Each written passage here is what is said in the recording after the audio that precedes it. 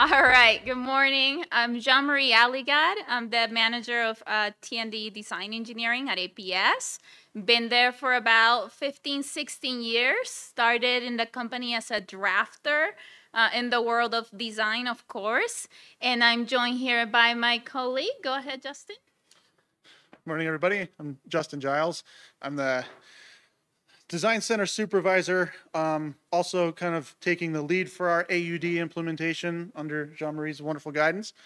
Uh, I've been with APS for about 21 years now total, starting in the design ranks, doing all kinds of different levels of design and project management and into this role. So lots to offer here.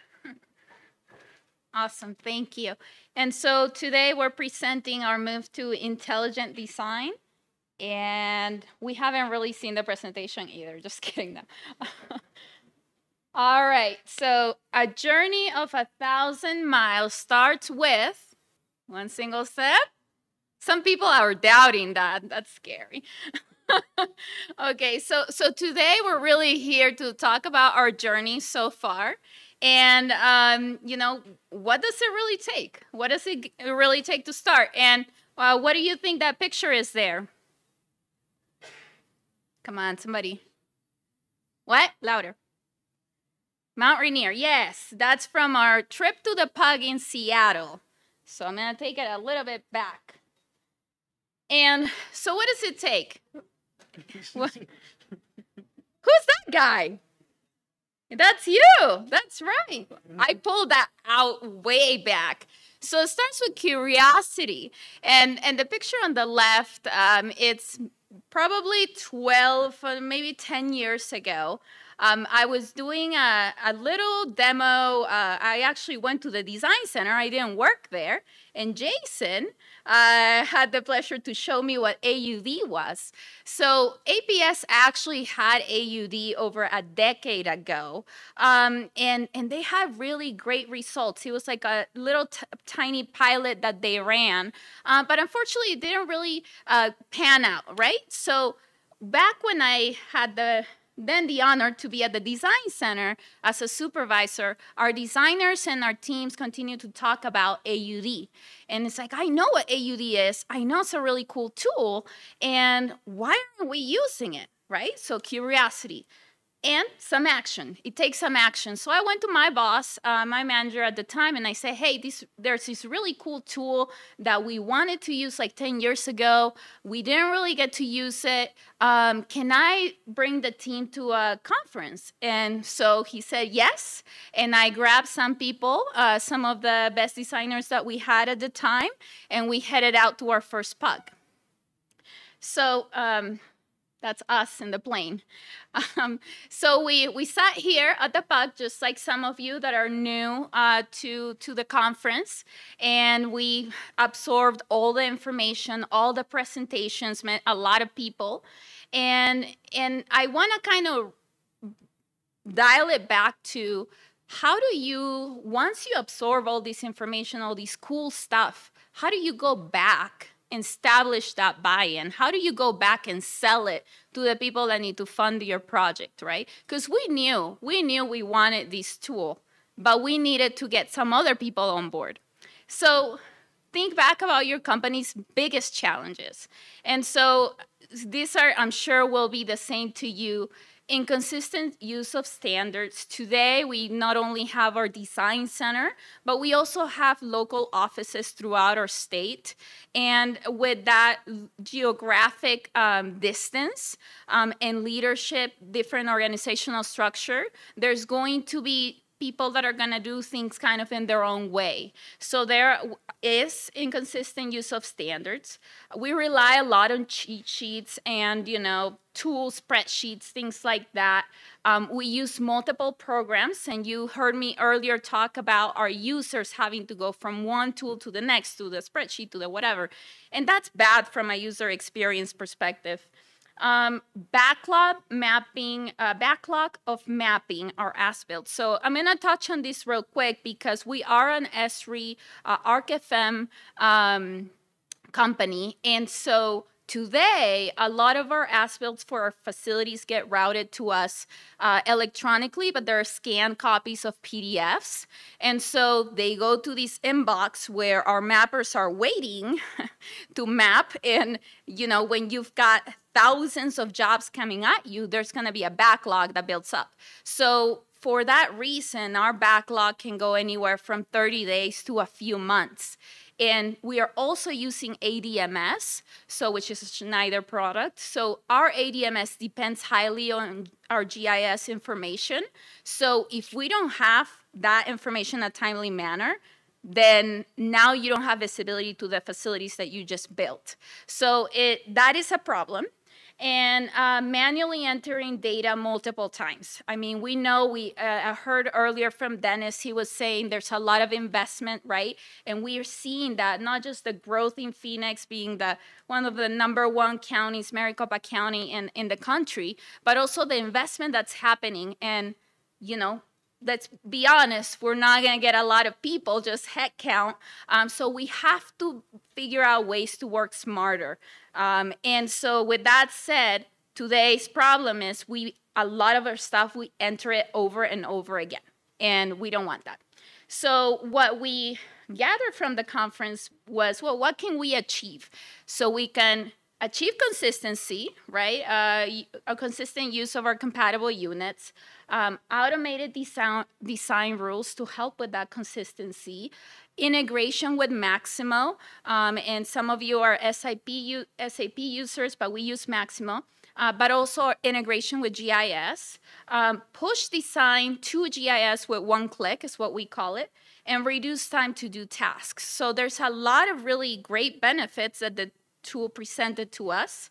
Um, going a little bit further, when we did a, a try to build a business case and actually put it into numbers. I just wanted to throw some numbers in there so that you could see the magnitude for us.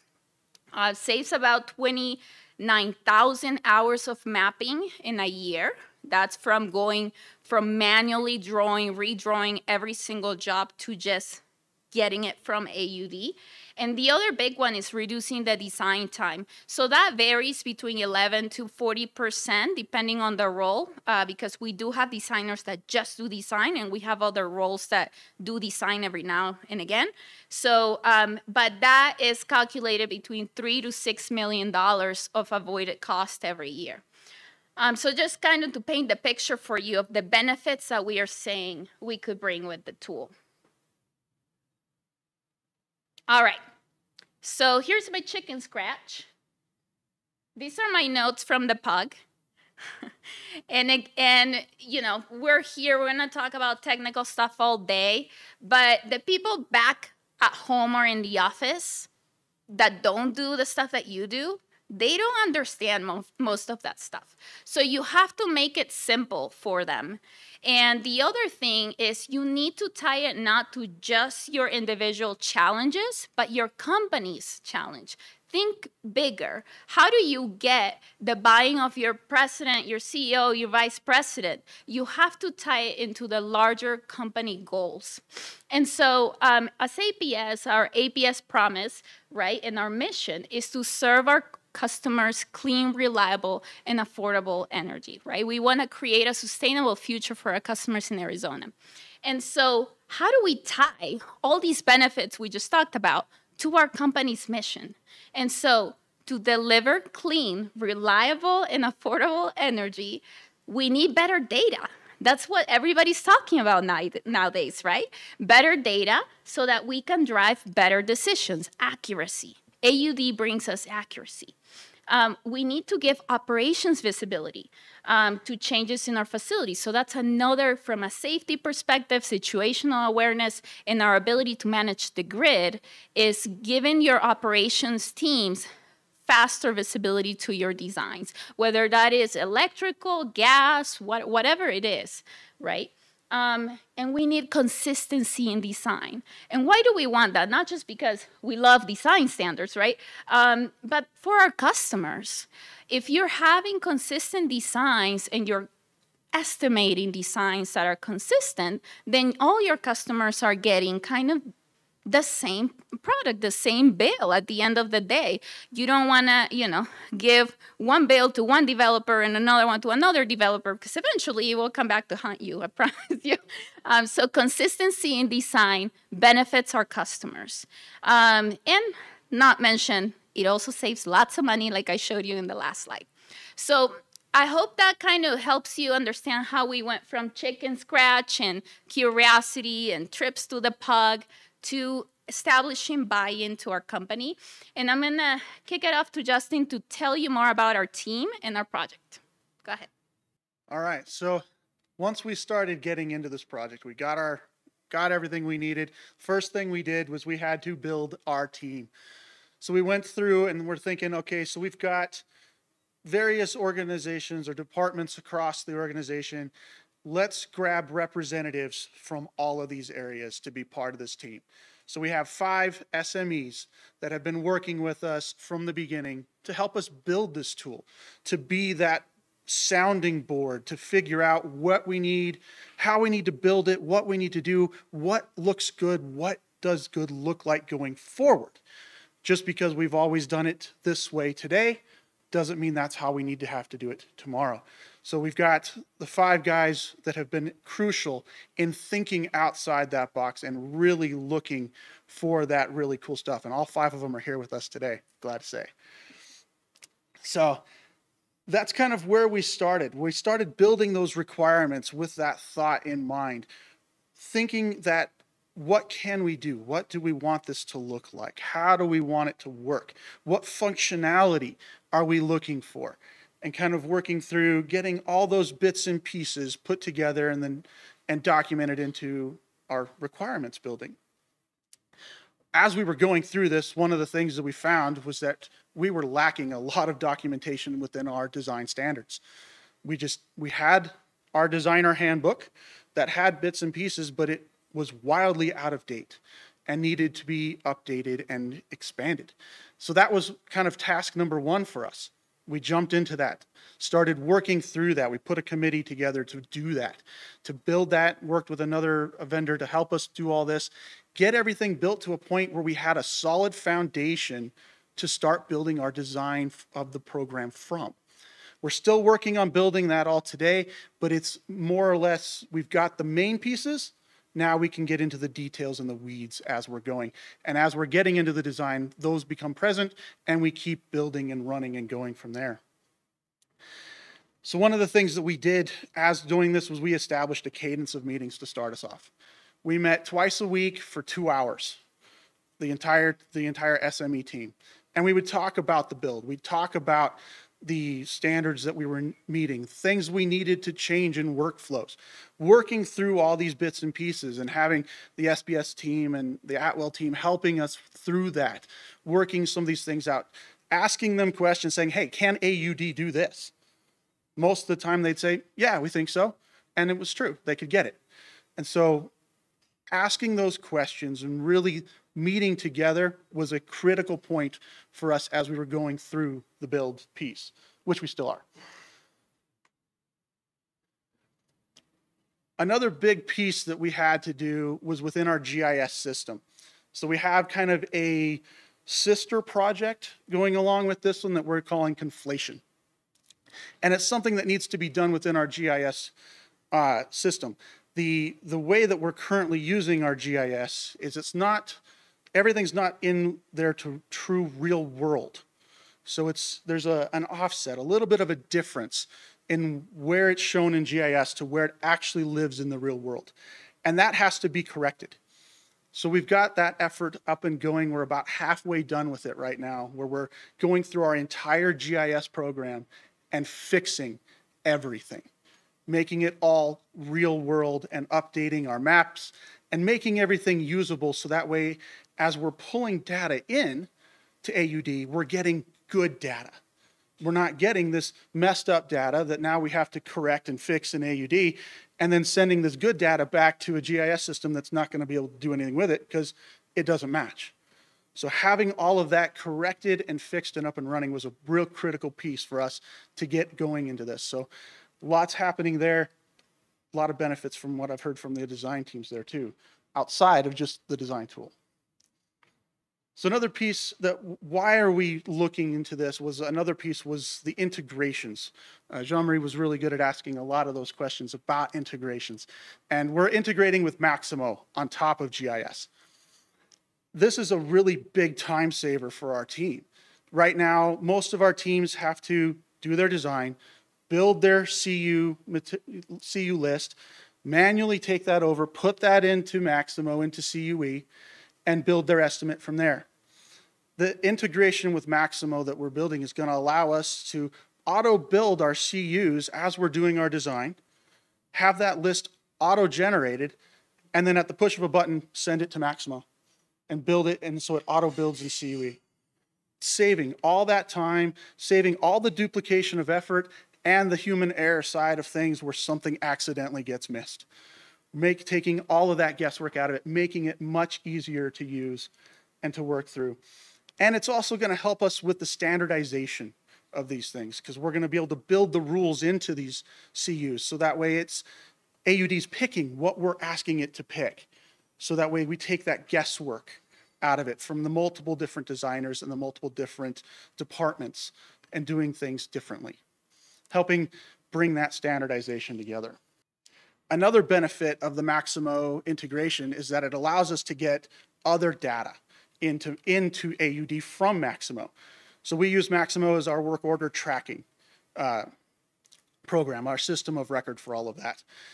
And within there, there's a lot of data like a work order number, a project name, an address, township and range information. All this gets put into the Maximo system and is sitting there. That all has to be duplicated onto our designs with this integration, we're able to pull all that data right into the design and have it auto update and work for us. So we're not having, again, having to do that manual double entry.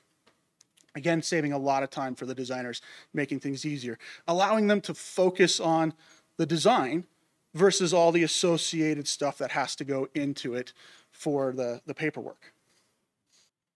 I talked a little bit about the GIS piece coming in and how that's going to work and what that allows us to do. And it, it really is on top of bringing in that good data, it's going to bring in everything as AUD entities. So it takes a lot of the, the guesswork out of what's existing in the field today. Where does this really go? What do I need to start my design? It gives that solid base point for when you're working in AUD. You can bring in that data. It comes over as smart entities already ready to go, working. All you have to do is take off and run from there. Adds a lot of value into that, into that whole starting point of the design. Takes a lot of that guesswork away. The other piece that we're really happy about is the, the, the connected model ability within AUD. That allows us to not only take, take that automation piece to a whole nother level. Because like Jean-Marie mentioned, today we have this spreadsheet that does these load calculations, this program that calculates this over here. And our design teams have to go into all these different areas while they're doing their design to figure out what it is they need within their design. With that connected model, we're able to have a lot of that auto running behind the scenes. So as we're putting in our equipment and running the wires between, it's checking our pulling calcs, making sure that the route we're planning is working. If it's not, it's going to say, hey, you've got a problem here. You're exceeding your parameters that you've set. Or, hey, your voltage drop and flicker. That's not going to work. That wire's too long or too small or something's wrong here. You need to look at this. So it's giving us that ability to stay in the AUD program and working and solely focusing on that and, uh, and what we're building there, not having to worry about bouncing all over the place and having those distractions come in. Along with that, after we get our design done, the cool thing is that I kind of like I mentioned, we're able to push back into GIS. With the data all being in real world can, you know, real world locations coming out of GIS, lit, holding those coordinates in AUD, when we push it back, we're able to put it right back in and have a clean model. This also allows us to get, like Jean-Marie mentioned, that more real-time data. We'll be able to push things back in faster and get things in there so that way our operators actually have a more accurate system to work on within our GIS and ADMS systems, giving them a whole lot more visibility to what's actually going on. So uh, Justin actually just showed you a brief uh, a brief version of our roadshow deck. So everything that he went through, our why we're using the screenshots, is the actual presentation that we used internally to start our change management, which I want to talk to you about. Um, building excitement and managing change, it sounds easy, it sounds fun, but it's really tough. you have to really be in it for the long run. And and so I talked to you earlier about establishing buy-in, and one of the the first things to do is having your champions, right? You have your champions in your SME team, but establishing those champions at the highest level. And so one of the very first things that I did is I met with our vice president of operations, and I made up some like shanky presentation with screenshots of our demo and I showed it to him. I was like, this is what we want to do and this is what we want to accomplish. And he was on board right away. Um, the other thing is, uh, so we talked about establishing the team in the business, and of course, I couldn't say that we have some people in the IT side that are also supporting us. Greg Cernich, I think, is online. He couldn't come today. Um, our design spatial team, um, our project manager, Dave Schlanger, he's right there. Thank you, Dave. Um, so part of that, I wanted to touch on this piece because Pat alluded to our journey. So on the APS side, we've probably had seven or eight project managers. Yeah, it's been a rough ride to tell you.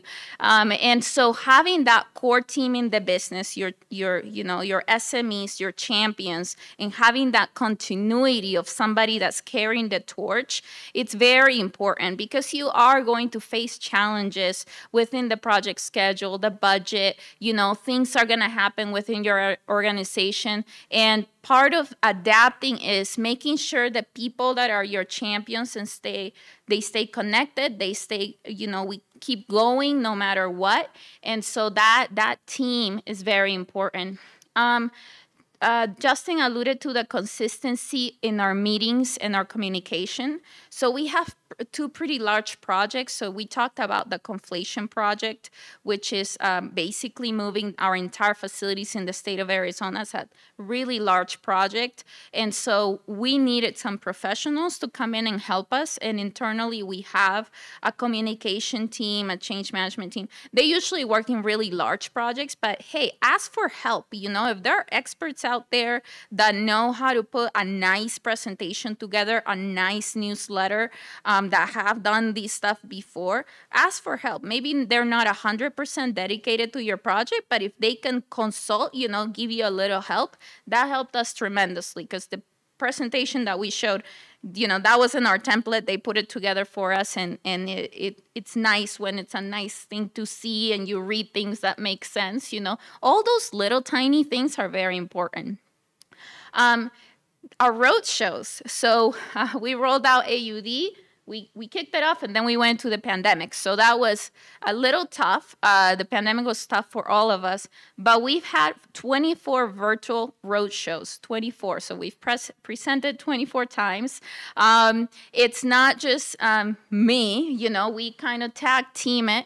Um, so we, because we couldn't be there everywhere at once, but you making the time to show people what's coming, showing him, showing them with pictures, even if you don't have the tool in your hands, that goes a long ways because when people just read words on a slide, that doesn't mean anything. Especially if you're talking to uh, technical people, they gotta be able to see it. So, so that uh, would be my my recommendation to you. Um, and the last little piece there is we talk to everyone we know about AUD. Anyone and everyone, whether they cared or not, they knew what AUD was. Hey, well, so how are you doing? Well, I'm working on AUD. What's AUD? And tell them supply chain, whoever, HR, environmental, whoever I could, talk about the product, talk about what you're doing. Sell it. I mean, you have you have to be your own champion for your product. And so I see those happy faces right there, Marty, um, and there is he's back there, and uh, Matt has helping us a lot with the configuration. Jesse and we cut off Greg somehow, but um, it's that's our team right there, um, Cody. Um, so, anyways, just wanted to say, uh, building the excitement uh, it's it's a lot of work, but it's also just as important as building your tool and your product. So so just remember that. So where are we going from here? We're currently in our build phase. We've got a lot things. So what's on the horizon for us? So kind of looking back at where we've come from so far, having that support system, like Jean-Marie mentioned, having those SMEs, that's a really important piece keeping that out of the box thinking going. You know continually to looking for areas that you can improve as you're doing your build. Um, and really having those good design standards already set up ready in place for your build. Those are some of the really the really big things. And you know what? Like i mentioned in the last bullet there don't limit yourself on your integrations. Think about it. Ask. All the worst they can do is say, no, we can't do that, right? So best to ask and try for it. Make those integrations happen, make it easier for the people. That's kind of the thought process. So keeping going, we're gonna keep working through the rest of our build. We've got probably, hopefully next year we'll be done and ready to deploy, hopefully, fingers crossed. Continuing that change management, it's an ongoing piece, keeping everybody aware of what you're doing, where you're at, letting them see those updated visuals of what you've built, the cool little things that they're going to get to use when you get this deployment done. We're going to be looking into getting that configuration with O-Calc. That's a big one for us. And then, uh, you know, continuing to think forward, even after our initial deployment.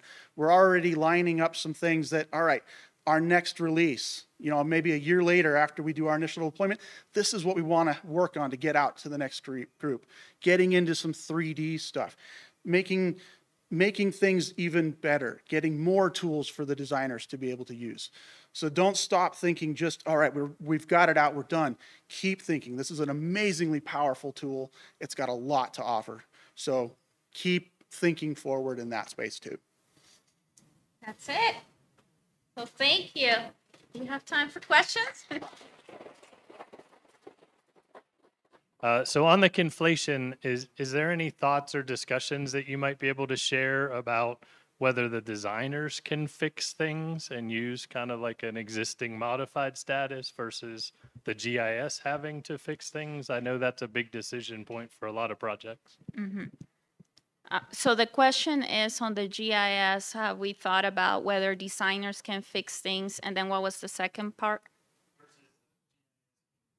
Conflation. Okay, so I'm gonna go a little bit into the weeds here.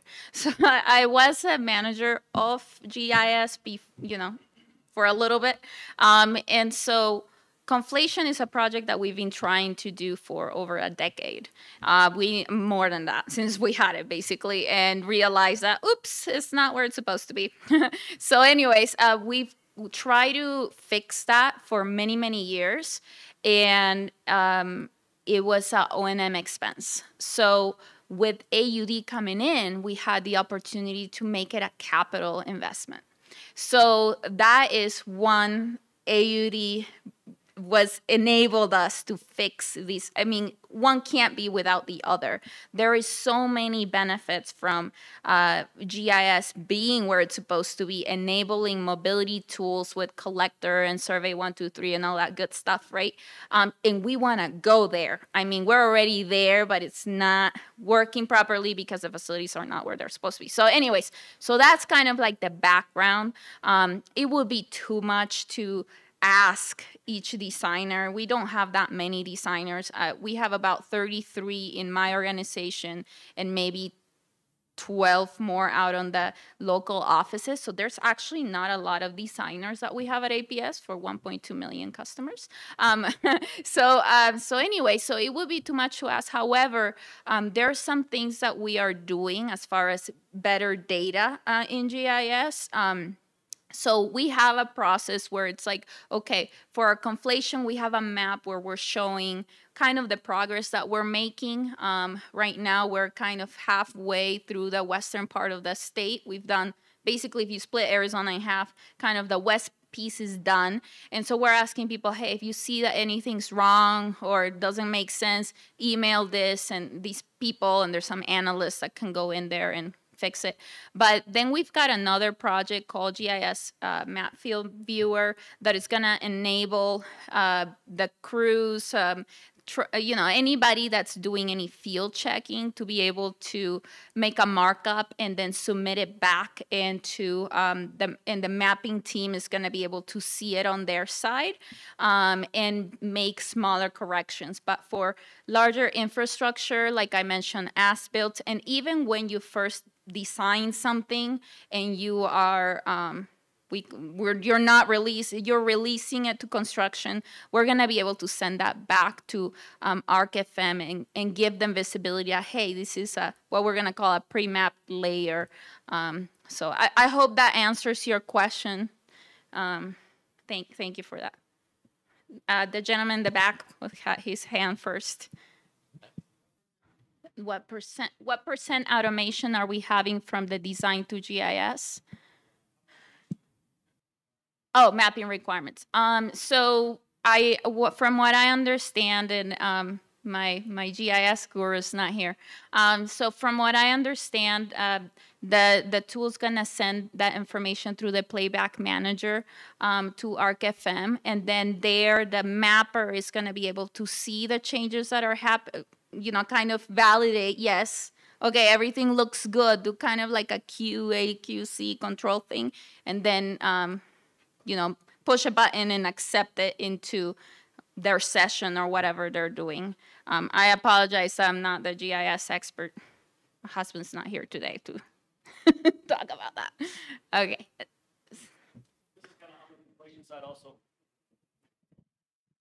conflation side also is for your data gathering efforts to identify the physical locations, are you using any modern methods like reality capture, mass data gathering, point clouds, mobile lidar, those type of tools to do large data set gathering so you can do a lot of the correction in the office with that type of stuff? Is that mm-hmm. on your mm-hmm. roadmap? Yeah, um, today we're not doing so from a data accuracy standpoint. Um, all we're doing with conflation is shifting facilities through vectors. So um, it's not like, a, oh, just move it to the right. Uh, there's some companies out there that uh, have methods where they look at existing parcels and we've been mapping all our land base all our you know parcels and monuments from designs um, so they are kind of they created a whole I, I don't remember what they called it, but they basically mapped all where every single little corner was going to shift to. So right now, the shifting of the facilities is just based on land based information from the true sources. Um, and once that's done, I'm sure we'll have other efforts to make sure do we actually have the right conductor labeled and things like that. Um, we're not doing any field checking right now to to do that. Thank you. Hopefully that answers your question. Okay. Oh, Dwayne. Hello. Pat's holding it.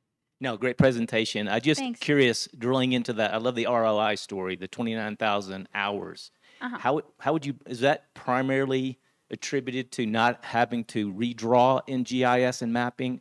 Was that 100% of that or was that just design efficiencies into No. that 29,000? No, so I actually had I was I was very thoughtful about what I was gonna put on the slide because generally uh, they say don't put anything that has to do with numbers in there. But I knew that there was gonna be other utilities here, and I wanted you to kind of understand that piece. So from a mapping perspective, the savings is the calculated hours that it takes internally to do every job that comes in um, so every ticket that comes in, uh, so all those hours times the number of people that are you know that you have and all, all that good stuff um, there's actually a number associated with that but i decided i'm just going to show the hours so it's all mapping so all the manual reduction of the remapping everything because today the mappers get a drawing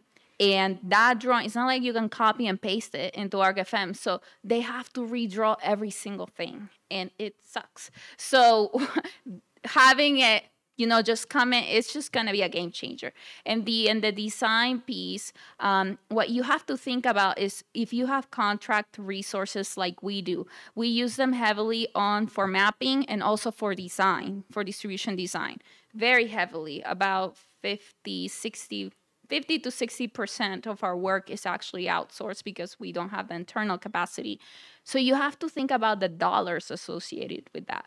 Every hour that you can reduce is capital savings um, for for you and your company. So you have to think about that too. Hope that answers the question. Kevin with AEP. Quick question. The I was trying to follow how the material was getting ordered from Maximo. Mm-hmm. Can you maybe describe that in brief? Okay. Yes. So, funny enough, so um, today uh, in Maximo we have a compatible unit library. So we have CUs, right? Um, compatible units that have a collection of bill of materials inside of them, and those um, most people that use Maximo, Maximo's also used for warehouse and you know and supply chain activities. So, but we have another program that we're trying to move away from. Anyways, the material ordering happens there, right? You push it to whatever your material uh, ordering dashboard is. So the relationship with AUD is that we, you are able to bring in into your AUD tool, you're able to bring that library. So we can see the entire library inside the design tool. And then as you are, you know, placing a transformer or laying down a, a pipe or whatever, it's gonna pick those compatible units um, from from that library into your design. And then when you're all done and you have pretty picture of everything, you know, that's in that list, it's going to push to Maximo, back to Maximo, and then Maximo is going to do the ordering of your material.